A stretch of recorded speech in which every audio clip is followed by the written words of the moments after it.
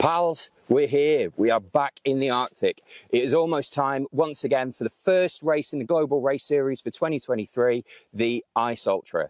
Our runners on the 21st are going to start a 230 kilometre journey through the ice and snow. We thought it might be a good time to uh, tell you a little bit about what the conditions are like that they're going to be facing out there. So it's been a great season for reindeer so far. Slightly warmer weather and not a lot of snow, but not great for ice ultra runners. So this is quite tacky, this snow. It's soft, it's sticky and quite hard to traverse through. It looks like it's going to change though. The snow that's falling now is light, but it's looking like it's going to get colder. We've got some minus 20s, minus 30s forecasts, and up in the mountains, like they're going to be for the first two days, they're probably going to experience some good crosswinds as well, which is going to take them below. So the first, this is like a race of two halves.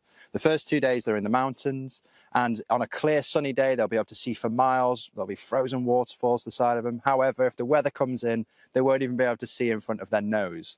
So it's a really isolated, extreme place that they're going to be running in once they've kind of got through the mountains and they've done all the climbing and battled through the snow, they finish. And by the time they get to day, the start of day three, they then hit the lakes. And the lakes are mind bending. If the challenge is physical in the first couple of days going up and down those hills, the challenge on day three and for large stretches of day four is keeping your head together while you are out there on what seems like an endless conveyor belt, uh, uh, like you are on a running machine and you just cannot get any further. They're going to need all their mental resilience to get to the finish line.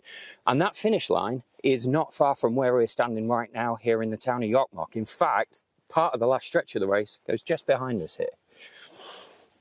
So when they get to here, they'll have done their five days. They would have got the distance. They'll probably have battered feet, battered minds. It is really a tough race.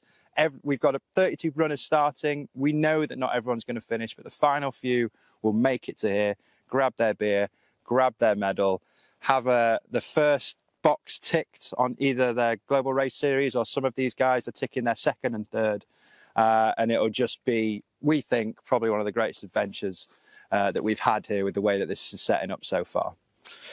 So we have live tracking throughout the entire event. If you head to our website right now, www.beyondtheultimate.co.uk, you'll find that live tracker so you can see the full list of all the people who will be taking part.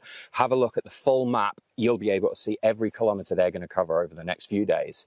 Stick with us.